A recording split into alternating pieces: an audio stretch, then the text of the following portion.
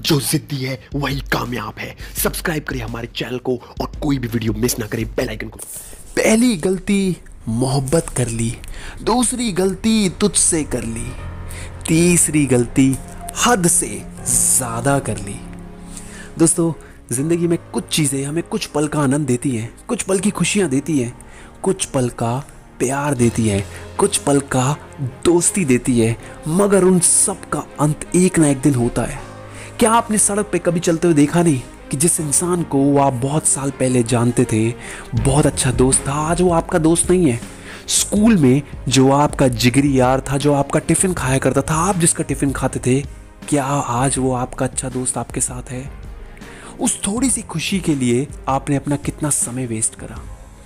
ये चीज़ ज़िंदगी में इफ़ेक्ट करती है। कुछ ऐसे लोगों के लिए हम इतना टाइम वेस्ट कर देते हैं अपना, और उस टाइम को बाद में हम पछताते हैं कि हमने ऐसी गलती क्यों करी उस इंसान के साथ रहकर।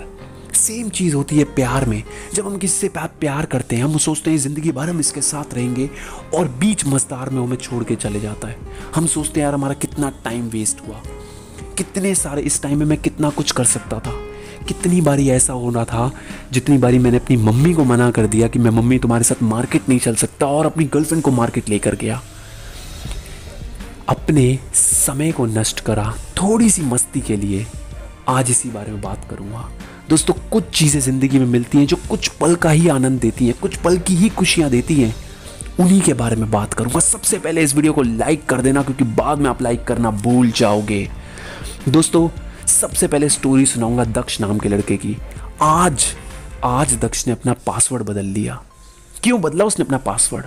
सिर्फ़ एक कारण से। दक्ष का एक लड़की के साथ रिलेशनशिप चल रहा था, संजना नाम की लड़की के साथ। दक्ष बहुत खुश था।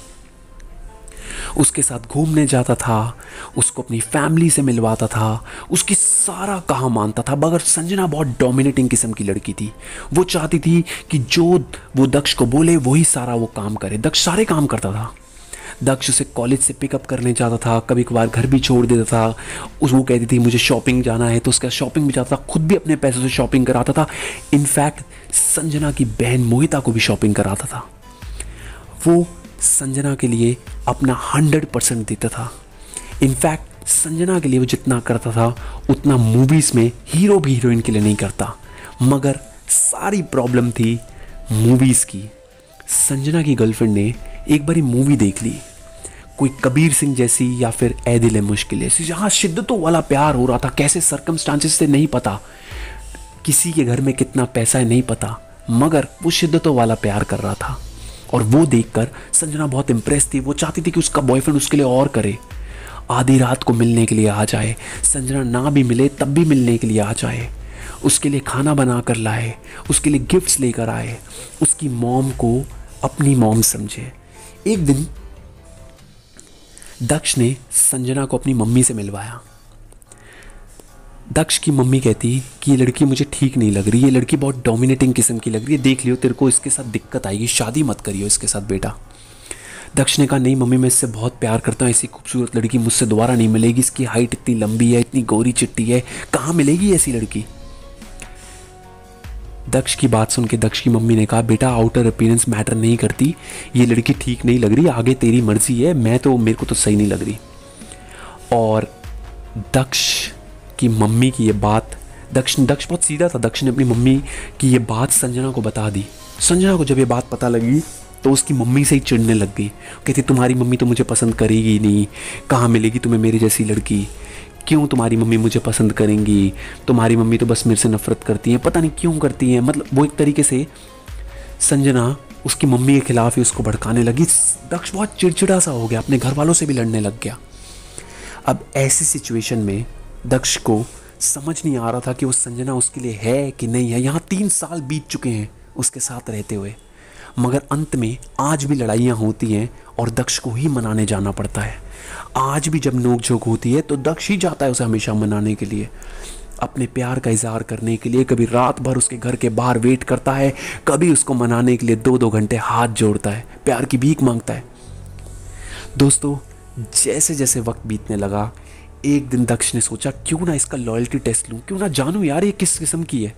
दक्ष ने एक फेक अकाउंट से सोशल नेटवर्किंग साइट पे उसको रिक्वेस्ट भेजी, उसने देखा संजना ने एक्सेप्ट भी कर ली और उससे बात भी कर रही है। दक्ष को बहुत बुरा लगा। दक्ष ने पूछा उससे, क्या मैं तुम्हारा फेसबुक का पासवर्ड ले सकता हूँ? संजना ने तुरंत मना कर दिया। उसने पूछा उससे, क्या तुम किसी अनजान लड़के से बात करती हो क्या मेरे पीछे से?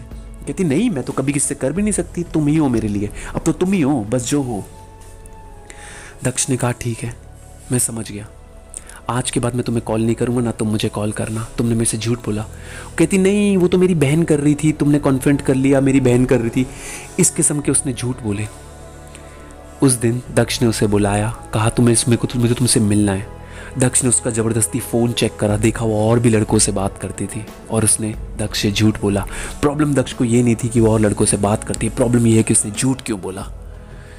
अब दक्ष ने अपनी लाइफ के तीन साल जब बर्बाद कर लिए तो दक्ष को महसूस हुआ कि कुछ चीज़ों के लिए उसे कुछ पल का आनंद तो मिला, मगर गलत इंसान के साथ उसने तीन साल अपनी ज़िंदगी के बर्बाद कर दिए, तीन साल तबाह कर दिए, जिस तीन साल में वो बहुत कुछ कर सकता था, किसी सही इंसान के साथ शादी करके, बच्चे पैदा करके, उनकी लाइफ को फोकस रख सकता था, मगर उसने ऐसा नहीं कर पाया। आज इसीलिए दक्ष ने अपना पासवर्ड बदल लिया है, जो कि संजना के नाम का ही था। उसने बदल लिया, अब अपनी प्रेजेंट गर्लफ्रेंड का पासवर्ड रख लिया है, और उस प्रेजेंट गर्लफ्रेंड से वो शादी करेगा। दोस्तों, ज़िंदगी में कुछ चीज़ें हमें कुछ पल का आनंद देती हैं और आचार्य चाणक्य जी ने क्या कहा है, ये अब अब मैं आपको बताऊँगा। आचार्य चाणक्य जी कहते हैं कि ज़िंदगी में कुछ पल का आनंद हमें कुछ चीज़ें देती हैं। कुछ व्यक्ति हमारी ज़िंदगी में आते हैं, कुछ लड़कियाँ, कुछ गर्लफ्रेंड या बॉयफ्रेंड के रूप में हमारी ज़िंदगी में आते हैं, मगर वो परमानेंट नहीं है तो वो सिर्फ़ हमारा टाइम नष्ट करते हैं। दोस्तों, ऐसे बहुत सारे मित्र हैं ऐसे बहुत सारे लड़के थे जो हमारी लाइफ में हमारे दोस्त थे। स्कूल के टाइम में कॉलेज के टाइम में। मगर आज उनको हमसे बात करने की फुर्सत नहीं है। क्यों? क्योंकि उनकी लाइफ में प्रायोरिटी कभी आप थे ही नहीं। ऐसे बहुत से लोग हैं जिनसे आप बहुत ज़्यादा कनेक्शन रखने की कोशिश करी किसी क्षण में। मगर आज उनको आप में कोई इंटरेस्ट नहीं है। क्यों? क्योंकि उनकी लाइफ में प्रायोरिटी बदल चुकी है। इसलिए अपना समय कभी भी नष्ट मत करिए। दोस्तों, बुरे व्यक्ति या फिर जो आपका हितैषी ना हो, जो आपके साथ बुरा करता हो, ऐसे दोस्त की दुश्मनी ना दोस्ती दोनों ही अच्छी नहीं होती।